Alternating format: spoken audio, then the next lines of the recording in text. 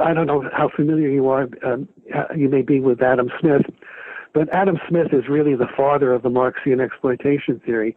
Uh, Smith argued that in the early and rude state of affairs, in the original state of things, where you only had manual workers producing and selling products, all income earned was wages. And that only later, as uh, capitalists appeared on the scene, uh, profit came into existence as a deduction from what was naturally and rightfully wages. And this is the foundation of the Marxian exploitation theory. Marx argues that rightfully all income belongs to the wage earners. They create everything.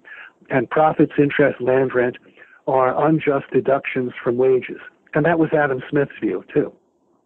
And what I pointed out was that if, in fact, we had manual workers producing and selling products, they would have sales revenues. The money paid to them would not be wages, but sales revenues. And that's what I got from John Stuart Mill, who had pointed out that demand for commodities, money spent in buying products, is not the payment of wages.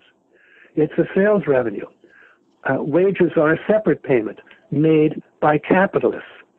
So the reality is, in the early and rude state of society, the manual workers had sales revenues, but they had not acted as capitalists. They had not bought for the purpose of selling, with the result that they had no money costs of production to deduct from those sales revenues, with the further result that the entire sales revenues were profit.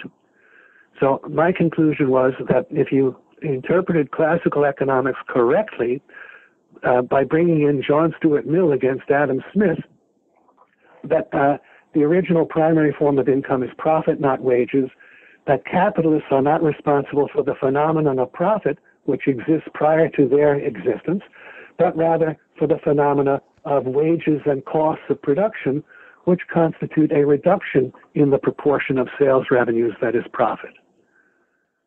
So, uh, in my view, uh, this is really a demolition of the exploitation theory, and uh, I, I, I, have uh, uh, uh, an essay. It's on, it's on Kindle in a, a collection called "The